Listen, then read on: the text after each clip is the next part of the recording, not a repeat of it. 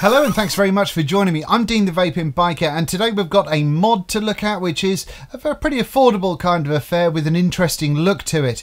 Um, now I'll go into this in a little bit more detail when we come back from the up close but uh, I did have a couple of challenges with this up front.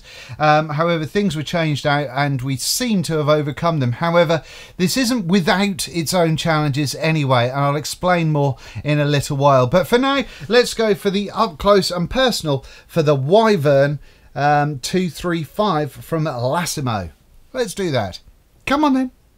And here we are with the packaging for the Laisimo Wyvern 235. Fairly straightforward. You've got the image on the box there, and then on the back you do have a little bit of information that uh, is that going to focus? Yeah, I think it just about is. You can have a read if you fancy pausing it, and away you go. On the bottom there, it does tell you what colour you've got in the box as well, and you've got a scratch and sniff in the corner there with a little hologram for uh, for proof of authenticity as well.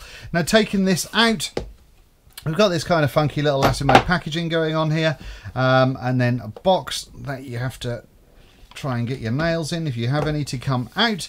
You do have a 90 day warranty card going on there.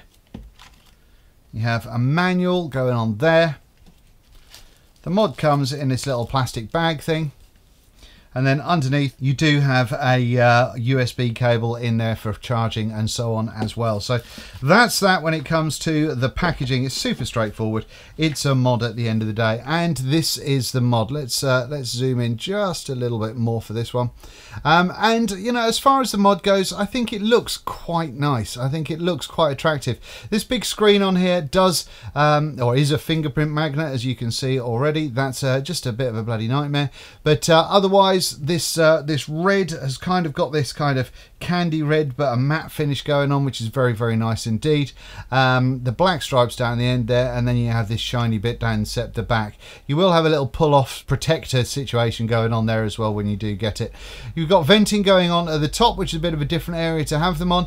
Uh, fire button there on the corner and you do have your 510 kicking over a spring loaded 510 at the top there. Underneath nothing to be special at all. Now then to get the battery cover cover cover cover. To get the battery cover off is a little bit awkward because if you don't have nails it's, there's nowhere to kind of put your fingers to get it off and you can't grip hold of it very easily. So you have to kind of try and get your fingernails down either down the side there or at the top there to uh, to take the thing off.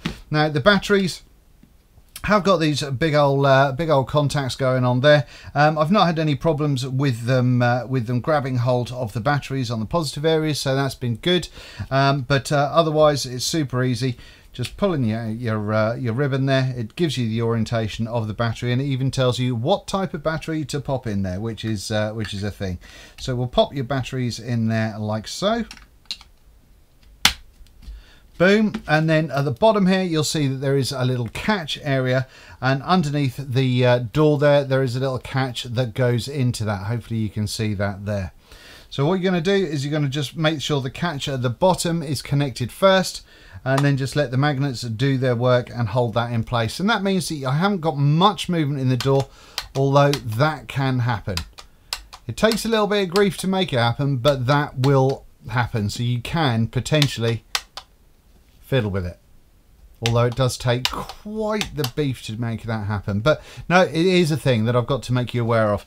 Now then, to turn this on, it's five clicks to turn on like so and we can see what the readout is like now it's very very reminiscent of um, of obviously the uh, the Yi boards and so on but uh, but there you go. It is what it is. Now you'll notice that I is asking if I've got a new atomizer to go on there and there's there's no atomizer on there.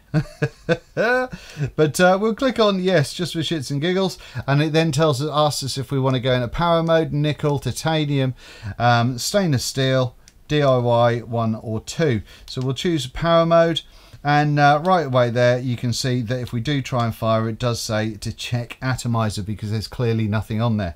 Now if you want to uh, pop your atomizer on there at this stage it now asks us once again if it's a new atomizer. So we'll say yes. And yes we'll go into power mode and away we go. So the, the bottom there is telling us the resistance. It's going to tell us the voltage in real time and then it'll have a little puff counter there also but that's about it when it comes to uh, to um, the the straightforward ease of use, if you like. Now the plus and minus button together will take us into the menu that we saw earlier on. So now we can choose between stainless steel or whatever. We've got a stainless steel coil in there at the moment, so I'll do that one.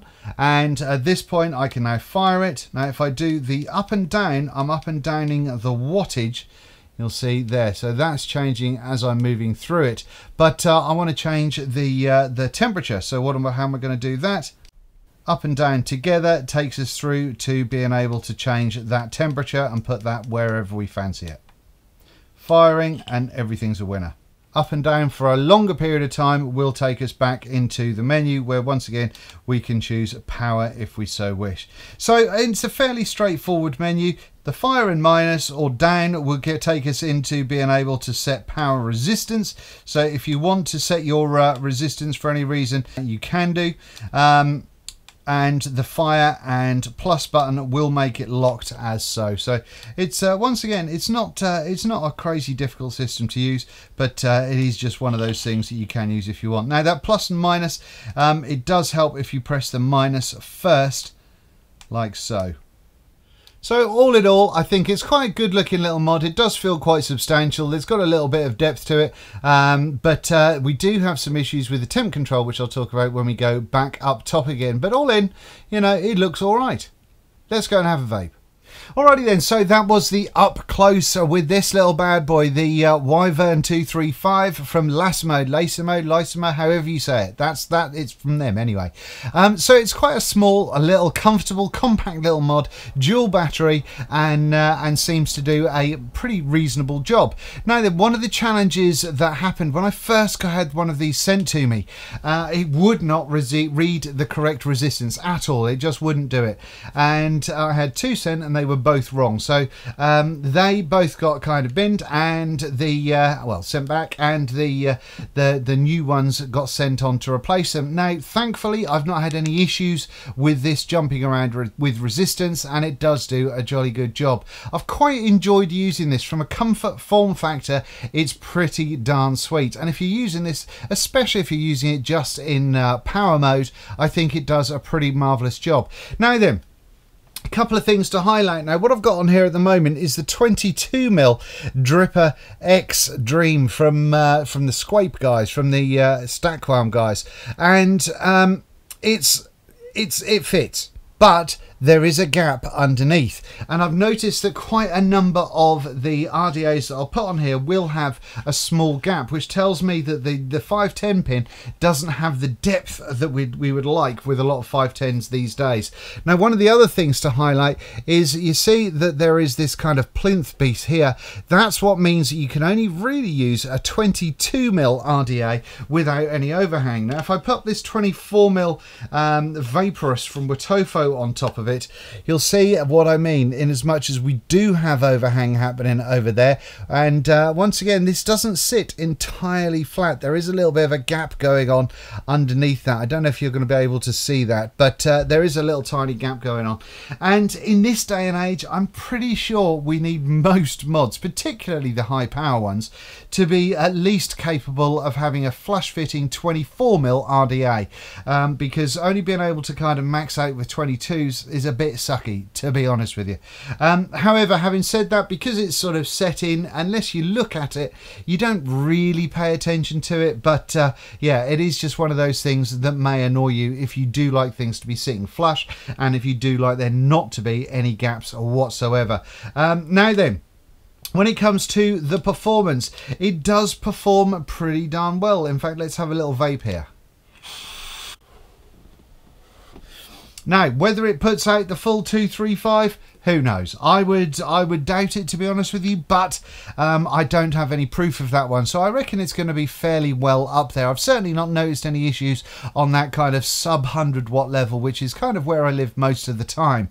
Uh, what I have noticed with this is in temp control mode, with using it in stainless steel, it does provide quite a weak kind of vape, um, so I have had to turn it up in both temperature and wattage in order to get the best kind of vape that I've been happy with. And and even then, it's a little bit on that weak side. Whilst it does draw back a little bit when it does come to that kind of um, dry coil stage, which is good. I don't think it's the best temp control that you're going to experience, um, but it kind of gives you an idea of it. Whether it's going to give you a positive idea of it or not is something altogether different. Um, I don't mind this in uh, in full power or wattage mode though, so you know it's been uh, it's been a sort of a little banger that I've been happy to pick up and use in favour of one other product that I've I've yet to review um, of a similar kind of shape and sort of style. But um, but no, I mean, all in all, it feels comfortable. It's kind of got a reasonable kind of feel to it. The button is very clicky, but it does have that kind of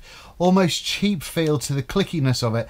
Um, but uh, but no, it does a fine job. The up and down buttons, once again, they don't feel expensive, but uh, but for the for the amount you're going to be spending on this, they aren't. Now then, what I've looked at when it comes to price wise, um, looking at um, what I've had a quick Google with and just sort of the the first kind of uh, the first page of it there. The cheapest on that first page in the UK is 38.99 from Grey Haze in the UK, and um, over in the States, my Vapor Store looks like it has it for 49.99 in dollars, um, and obviously you're going to see that at, at, at, cheaper prices in some of the China websites as well. So um, it's going to be if you like the look of it. This one, by the way, is supposed to be styled on a Ferrari.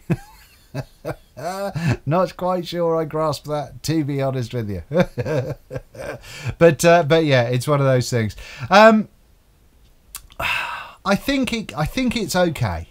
I think it's okay, and I think there's certainly a lot worse places that you can uh, you can spend your money, um, particularly if you're using it predominantly in wattage mode. I don't think it looks bad at all, and um, if you if you can cope with that sort of gappage going on and the overhang of a 24mm RDA, then you're good to go. Size-wise, it's nice and comfortable in the hand, easy to fire with that thumb fire on up there at an angle, and uh, and yeah, it's not something I would rush out and buy. However, for the money it's uh, it's perfectly perfectly acceptable in my opinion. Anyway, that's about it. That's about all I can tell you on this Lasimo or Lasimo Lasimo Wavern Wyvern two three five and uh, I uh, I'm interested to hear your comments. So if you like the look of this, think it looks anything like a Ferrari um, or whatever, then uh, please leave a comment down below and let me know your thoughts on this little bad boy.